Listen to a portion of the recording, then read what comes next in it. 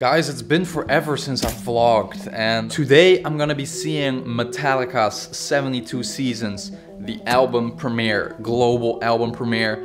Uh, the whole Metallica family is gonna be checking it out tonight, I guess, and I'm part of that, so I'm gonna be seeing it, you know? I got my H&M with the metallic writing hoodie on, and uh, yeah, I'm gonna have dinner first. Oh my god, dude, we have Chinese leftovers absolutely glorious meal right there. Like, I'm honestly, to be fair, I'm not a huge fan of like Eastern food, like, I don't know, Indonesian, Chinese food, Japanese food. Having it occasionally is nice. Occasionally. Occasionally I like it. I'm a fanatic of American and Italian food. Just a kid's menu I like, pretty much. I don't know what it is about Eastern food either, but it always makes me full as fuck. I think it's because like you have small portions of everything. Like you have a little bit of rice, a little bit of chicken, a little bit of egg, a little bit of fucking baked banana. So like you have so much different shit, so it just feels like more. I feel like that's probably it. Whereas with a huge pizza, it's like one pizza. So you're eating one thing, so it feels like less. But like in terms of calories and amounts, it can be way more than Chinese food, but it just feels like less for me personally. But maybe I just fucking crazy. And there you have it, my meal. I don't have any Bing Chilling, sadly, but uh, this will do. Slasher pepper mukbang? Should I do that? Probably not. That's the thing too with Chinese food. I never know what the fuck I'm eating. Like, what is this? Can anyone give me the name of this? It's not the baked banana. I mean, baked banana is bigger. It's this shit. But, oh my god. so fucking good though. That was a great fucking meal, but the entire inside of my face is burnt because that shit was hotter than hell. Little kiss reference there. That was smooth, dude. Hot, hot, hotter than hell. You know she's gonna be you well done. You do not want to stand next to me at a Kiss concert. I'm telling you that much. Man, there's just something about being at the cinema. I don't know what it is. I just love seeing all the posters for the upcoming movies and shit. Yeah, it's just amazing. I love the vibe. You can smell the popcorn pretty much. You know, when you're going to see a good movie or a global premiere for a new Metallica album, life is pretty damn good. Horror is looking pretty good for the next month.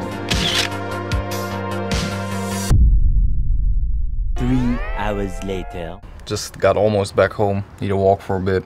I'll go for a walk later. I really liked it. I thought it was a great fucking album and I cannot wait to hear it on vinyl tomorrow. I'll be doing a vinyl unboxing, so stay tuned for that. And also, I'll be doing a vlog soon, another vlog, going to see Metallica live because I'm going to be seeing them at the first show of the M72 World Tour in Amsterdam. So I'm very excited for that, as you can imagine. But about the global premiere, let's go for a walk, guys. You can't see me anymore probably, but gotta get home, you know, because it's late. Gotta get up early tomorrow. There's something about watching a metal album in the cinema with people that just is so awkward kind of. Because like at first everyone was like slightly headbanging but not really. Some people were literally sitting still. And this is the exact reason why I don't want to get sitting tickets at a metal show for as long as I have young, fresh legs that still work well. When people sit, they just tend to like give less shits about moving or headbanging. That was a bit lame.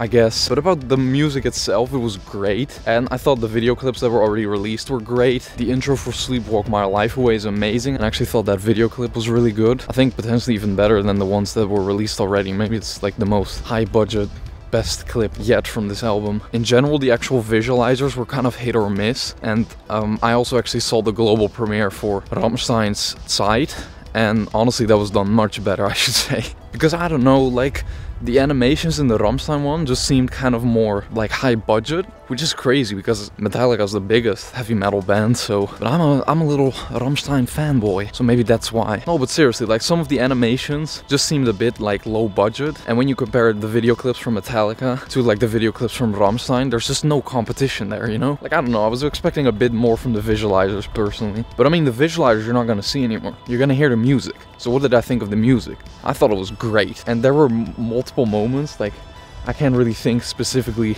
of all the titles, of course. Obviously, I mean, it was like, what, 11, 12 songs? So I can't memorize everything from the top of my head now, but like there were a lot of really good songs besides the singles, because I actually love the singles. But besides that, there are a lot of great, great songs on here. And I thought it was very interesting. The first song by Metallica that's over 10 minutes, the final song, that was a bit interesting because I could have sworn they've made songs that are over 10 minutes. I mean, Metallica kind of has long songs, so I don't know, I always assumed that they did have a song that's over 10 minutes. Now, what I loved about this global premiere that wasn't done with the Rammstein premiere is the fact that you get to see the band and they give a bit of context and background info in between the songs. Now, this was mentioned in advance, but I was a bit worried about this because I thought it would just drag on too long and every member would say something about each song and it would just kind of drag. Not at all. Like, maximum two members get to say something about each song and it was great honestly. It added so much more to the whole premiere and made it feel more dynamic more interesting more exclusive. And I'm honestly curious if they're gonna release this anywhere because the Rammstein global premiere can't see that shit anywhere anymore. Like some visualizers were just exclusive to the global premiere. Kind of fucking crazy you know? It would be nice to maybe get an even longer version of this like get to hear every band member's thoughts on each song because like I wouldn't have wanted to see that in the cinema because it would have been just too much. But like watching it at home getting to watch like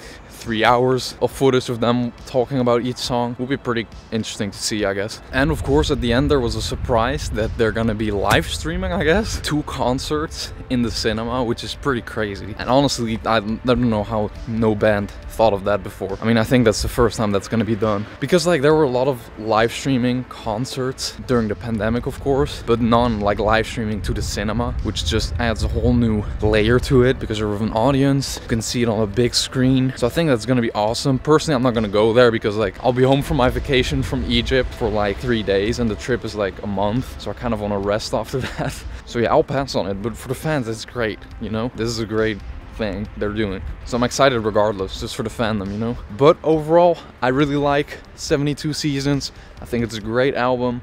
I can't wait to just listen to it. Tomorrow, on vinyl, maybe at the gym I'll listen to it. And I can't wait to see how the album overall grows on me. I feel like Hardwired Self-Destruct kind of took me a while to really grow on me, but now I love that album. And um, this one has a very similar sound, so it's easier for me to already love it now. But giving this album more time and letting this one kind of sink in, it's gonna be amazing, I feel. I feel like I'm gonna be loving this album a couple years. It might even be a classic, you know? So yeah, very curious to see how that plays out. Anyways, that's all. Thank you for watching. I'll see you guys next time. See ya.